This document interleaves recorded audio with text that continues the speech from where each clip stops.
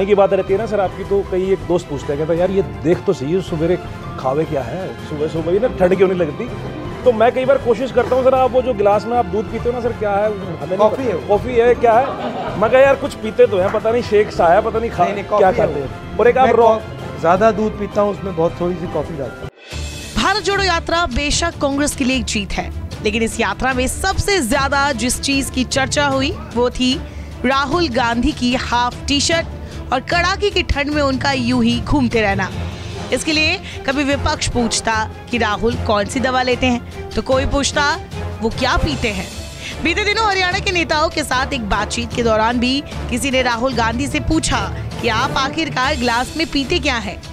वो कोई खास शेक होता है या कुछ और? इस पर राहुल ने जवाब दिया कि उसमें ज़्यादा मात्रा में दूध और हल्की सी कॉफ़ी होती है।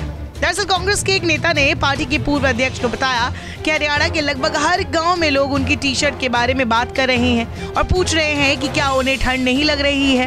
उन्होंने ये भी पूछा कि वो ठंड से बचने के लिए क्या खाते हैं। इस सवाल के जवाब में गांधी ने कहा, मुझे एक वीडियो शूट करना होगा।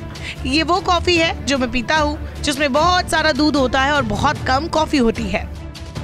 बता इस वक्त सोशल मीडिया पर राहुल गांधी की खाते हुए।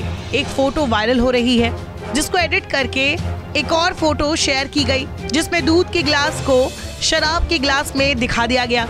वही इस फ़ोटो पर काफ़ी बवाल भी हुआ। इसी बीच ये वीडियो काफ़ी चर्चाओं में आ गया है, जिसमें खुद राहुल गांधी ने बताया कि वो आखिरकार ग्लास में सुबह रोज क्या पीते हैं। बता दें, इसी मीटिंग में भूपेंद्र सिंह हुडा और राहुल गांधी के बीच एक ऐसी बातचीत हुई थी, जिसमें सभी लोग हंसने लगे थे।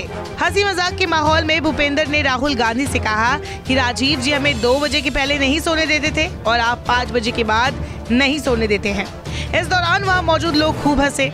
राहुल गांधी ने भी बताया कि कैसे उनमें इतनी फुर्ती है।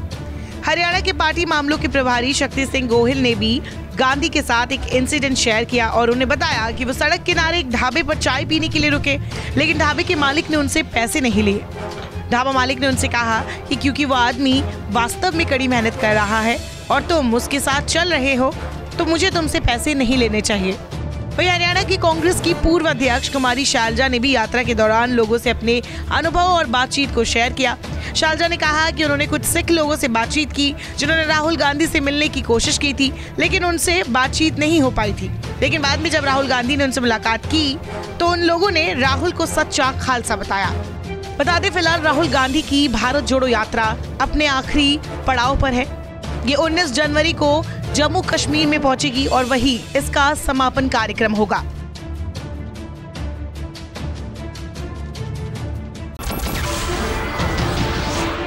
नमस्कार, मैं हूँ मानक गुप्ता।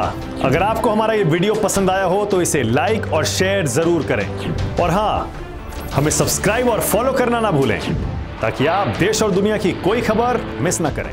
तो जुड़े रहिए हमारे साथ और देखते रहिए न्यूज़ 24